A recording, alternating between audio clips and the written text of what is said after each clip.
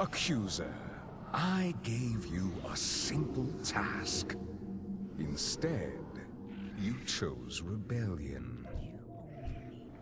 You ordered me to defile the ancient rituals that define who we are. I will not do that, even for you.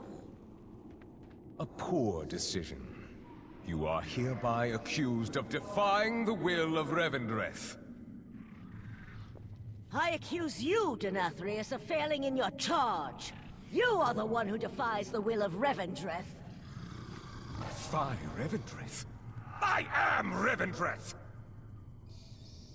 Perhaps a few centuries burning in the Ember Ward will remind you of who rules this place. Even your punishments reveal your complacency. Very well.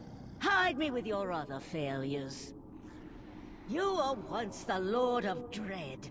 Now? Now your teeth have lost their terror. Have they now? We shall see. Fearstalker, prepare your hunters.